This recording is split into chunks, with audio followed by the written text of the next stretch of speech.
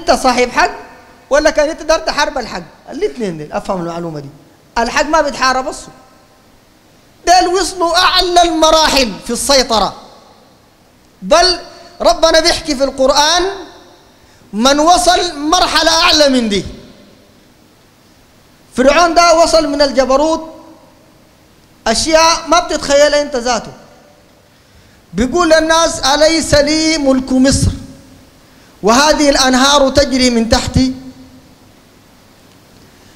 بيقول لهم أنا ربكم الأعلى. بيقول ما علمت لكم من إله غيري. بيقول للوزير بتاعه أوقد لي يا هامان على الطين فاجعل لي صرحا. لعلي أبلغ الأسباب أسباب السماوات. فأطلع إلى إله موسى. وإني لأظنه كاذبا. يعني شوف المراحل دي كلها. فرعون ده كان ظاني نفسه خلاص الموضوع ده في يده. وما قدر يعمل أي حاجة. طيب المؤامرة هنا قالوا أمشوا اصبروا على آلهتكم إن هذا لشيء يراد. قالوا ما سمعنا بهذا في الملة الآخرة. إن هذا إلا اختلاق ده كذب لفقوا بيقصدوا النبي عليه الصلاة والسلام. وانتبهوا يا إخواننا التكذيب بتاع المشركين هنا ما هو تكذيب لحاجة يعني هم بيعتقدوا النبي صلى الله عليه وسلم كذاب. لا ما بيعتقدوا إنه كذاب. لكن التكذيب هنا جحود. والجحود فرقه من التكذيب شنو؟ الجحود بتكذب لما تعرف إنه ده حق. بعدك بتكذب به أما التكذيب من غير جحود كونك تعتقد إنه الإنسان اللي جاب الخبر ده كذاب. طب المشركين من ياتوا نوع عارفين الحق. سيبك من المشركين ديل. فرعون ذاته ما كان عارف الحق. عارف الخالق الله. يقول لهم ما علمت لكم من إله غيري. ويقول لهم ذروني أقتل موسى وليدعو ربه. ذروني اقتل موسى عارفه كذاب؟ قل ماسكك منه أنت؟ اقتله ذروني اقتل موسى ده زي زمان عندنا. آه الواحد لما يكون غالب وشاكل لزول يرجع لما الحجازين يجوا يمسكوه. فكوني له فكوك شنو أنت؟ من قبل ما تمشي له فده نفس النظام ده. يقول لهم ذروني اقتل موسى أقتله. ما بيقدر. كويس؟ ويا أخي شوف قوة ربنا سبحانه وتعالى. فرعون بيتوعد إنه يقتل قبل ما يلدوه وبكتل في أولاد بني إسرائيل. ربنا سبحانه وتعالى من قدرته العظيمة. فرعون ده يربي موسى براو. مش يقتله يربيه ربنا قال في القرآن على لسان فرعون ذاته قال لموسى ألم نربك فينا وليدا؟ ولبثت فينا من عمرك سنين. تربيه براك يا فرعون. وما بتقتله ولا بتقدر. شفت الحكمة دي كيف؟ عشان كده المشركين دول ما أصوا متأكدين تماما إنه اللي بيقول فيه النبي صلى الله عليه وسلم ده صدق كله. عشان كده ربنا قال في سورة الأنعام فإنهم لا يكذبونك. ما بيعتقدوا إنك أنت كذاب. ولكن الظالمين بآيات الله يجحدون. ابن كثير جاء في سبب نزول الآية دي. قال كبار المشركين كان بيجي يستمعوا لقراية النبي عليه الصلاة والسلام. ده ما عرب بيفهموا القرآن. نحن هسه الناس بيشاكلوا مو فاهمين ذاتهم. بيشاكلوا وما فاهمين أي حاجة. ده بيفهموا كويس. بيجوا بالليل صناديد قريش ومنهم ناس آمنوا ومنهم من مات على الشرك. كأبي جهل. واحد منهم. والأخنس ابن شريق كان ده الثاني. وأبو سفيان ابن حرب رضي الله عنه كان مشرك الوقت ذاك. دول ثلاثة من كبارات قريش. بيجي بيسمعوا القرآن. بالليل بيستمتعوا. لأنه القرآن هم يعلموا إنه ده ما كلام بشر. كويس؟ بيسمعوا زين وفوتوا. في الشارع قال اليوم الأول ابن كثير جاب الرواية قال فجمع بينهم الطريق. يتلموا الثلاثة. أي واحد منهم عاين في الثاني كنت وين؟ بسمع حين. وإنت؟ كنت بسمع. طيب قام يتواسقوا اتفقوا. وما عندهم عهد. اتفقوا. قالوا تاني ما في واحد يجي. لأنه لو شافونا أولاد قريش الصوار ديل آه، بيضيعوا. ويمشوا بيسمعوا كده فتاني ما في واحد يجي. وأي واحد منهم داير الاثنين التانيين ما يجوا يجوا كويس؟ رجعوا الثلاثة بكرة الثلاثة جو. واي واحد خت في باله شنو؟ إنه ديلك ما جو. برضه جا استمع. لما انتهوا جو راجعين الطريق جمع بيناتهم تاني. يا ناس ما قلنا ما نجي. قالوا بكرة تاني ما تجوا خلاص. بكرة اليوم الثالث برضه جو الثلاثة. بعد ما ناقل ف... فلما أصبحت أخذ الأخنس ابن شريق عصاه. وذهب إلى أبي سفيان. مشى له. طق على الباب خش عليه. قال له ماذا تقول فيما يقول محمد؟ بصراحة الكلام ده شنو؟ فسمع منه. ثم ذهب إلى أبي جهل وده طبعا زعيم. لما دخل عليه قال يا أبا الحكم ما تقول فيما يقول محمد؟ أصادق هو أم كاذب؟ انت يوم طيب تسمع الدين الآخر بتاعك يا الكلام ده صدق نحن نبقى معاه يا كذب تاني نحن ما نجي. فأبو جهل قال له والله ما كذب محمد قط. بهذه العبارة. عارف إنه ما بكذب. طيب قال وفيما؟ العداوة في شنو؟ ما دام هو ما بكذب. فقال أبو جهل وكشف السر بتاعهم كله. في الكلمات دي كشف سر الموضوع والجوطة والمشاكل دي كلها في شنو؟ قال تنافسنا نحن وبنو هاشم الشرف.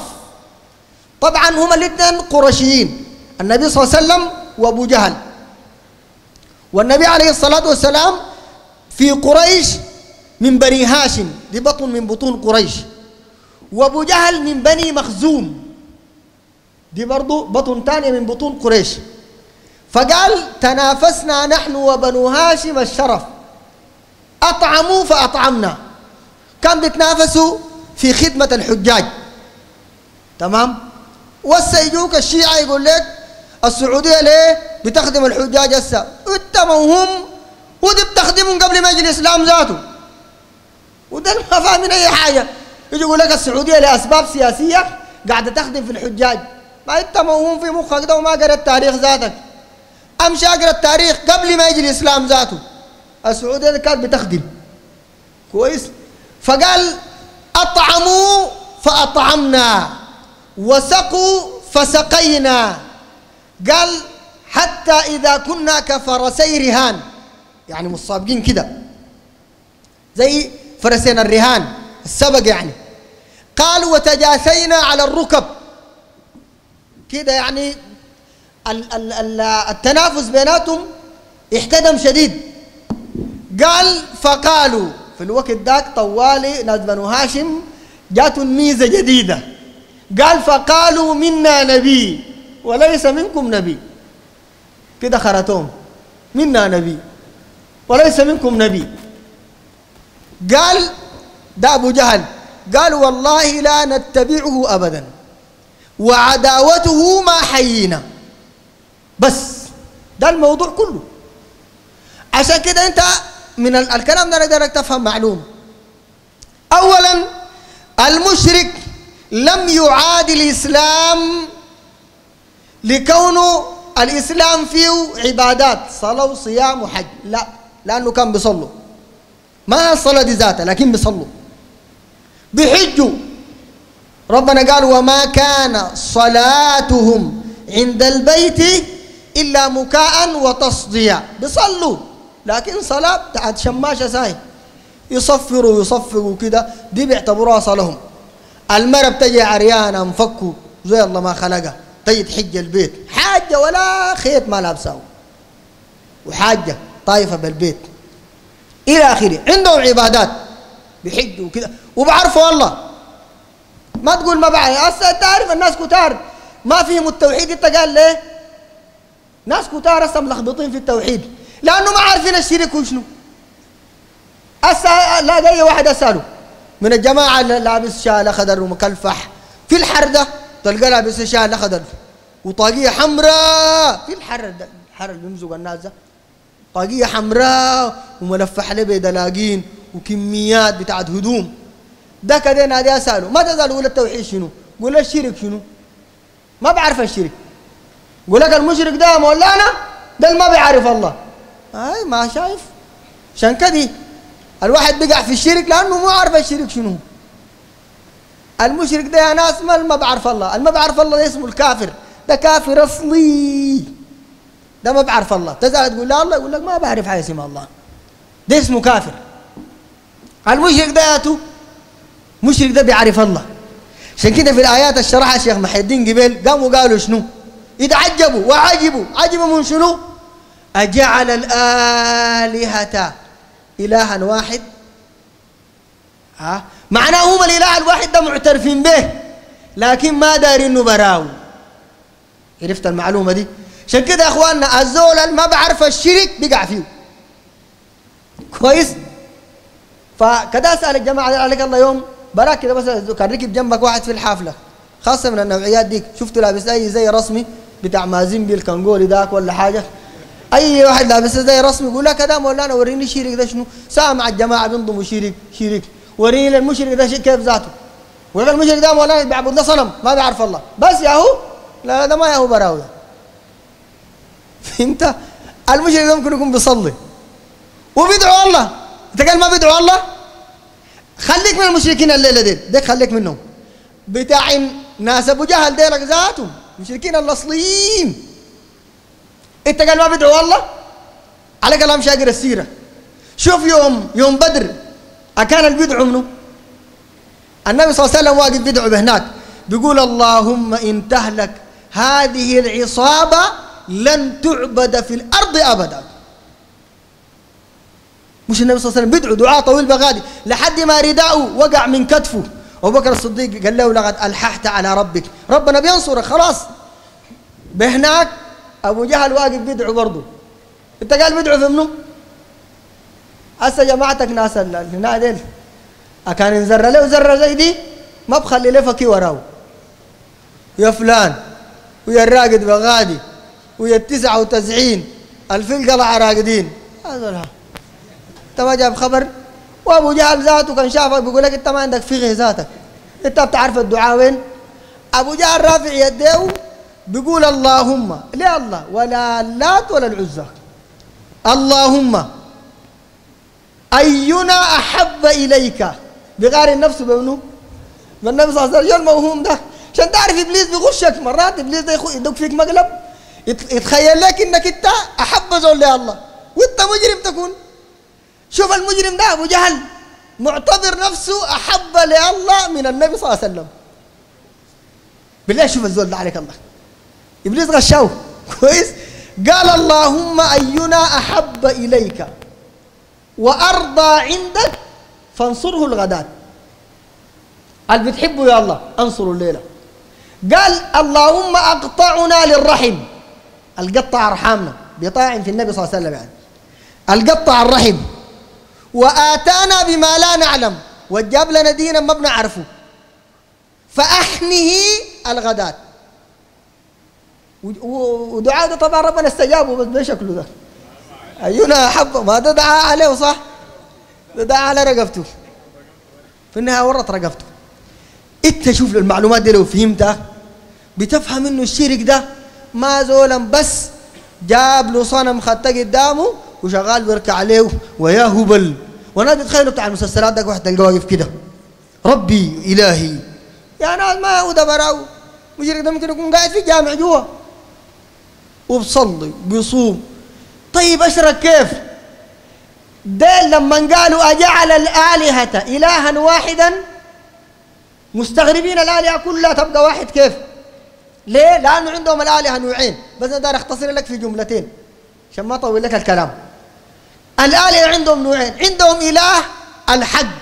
ده اللي بيخلق والبيرزق والبيدي الجنة والبينفعك بضرك أوه ولئن سألتهم من خلقهم ليقولون الله. ولئن سألتهم من نزل من السماء ماء فأحيا به الأرض بعد موتها. كله ليقولون الله. ده الإله. والباقين ديلك شنو؟ ديلك بيقربوا للإله. ده شغلهم بس. يعني ناس هبل واللات والعزة. و يوم من الأيام ما في مشرك جا قال يا اللات الخلقتني ما في. قصوا زول بيقول اللات الخلقتني ما في. عارفين اللات ده لا بيخلق ولا عنده أي شيء والعزة لا بتخلق ولا بتدي الجنة. أوه إلى آخره. طيب عندهم الإله الحق ده ديل بيوصلوا له. إنت عشان ما تبقى مشرك وأنا عشان ما نبقى مشركين؟ ما نخت لنا زول واسطة بيننا وبين الله عشان الله يتقبلنا. بس ده الموضوع كله. ده ما تبقى مشرك ما تبقى لك أي واحد واسطة. يعني ما تقول يا فلان تلحقنا. أنا يقول لك فلان ده شنو؟ ده الله يقول له لا لا والله. فلان ده خلقك؟ لا لا والله. خلقني الله. طيب فلان ده ناديته مالك؟ يقول لك دائما ولا أنا ما قريب من الله. أنا بناديه والله بيديني بس دي المشكلة ذاتها. ها؟ آي ما بس بيقول لك قريبين من الله. في النهاية قريبين من الله ونحن وقت ندعوهم بيوصلونا لله ده يا هو المشرك ذات. وشفت شفت الشكل ال- ال- لو قريت السيرة النبوية لابن هشام السيرة والتاريخ وذاك قتله واحد شرطوه النص واحد جابوا عينه انقلعت برا ومرة جات بتبكي عندها أربع أولاد وماتوا شفت ده كله؟ بس في النقطة دي. النقطة الصغيرة دي بس في دي. هنا وسا تخيل الزمن مشى بالناس وإبليس غشاهم رجعوا للنقطة اللي كانت فيها الشكل ذاتها وبقى الموضوع ماشي عادي. البيجاي والبهيره بقوا كلهم واحد. البدع الله والبدع الجماعة بقوا شت واحد. الله المستعان. المهم الكلام عن الموضوع ده يطول وشيخ محي الدين يا ريت لو المرة الجاية كمان واصل في الآيات دي لقدام فيها فوائد كثيرة. جزاكم الله خير.